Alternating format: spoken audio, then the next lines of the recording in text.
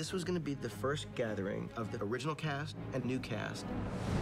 This feeling came over me that hadn't happened since Tunisia on the first one.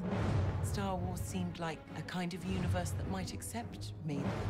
I just remember thinking, we are about to shoot this thing, and I'm not ready. I still thought that I was auditioning, that this was the last test. It was the scene that terrified me the most.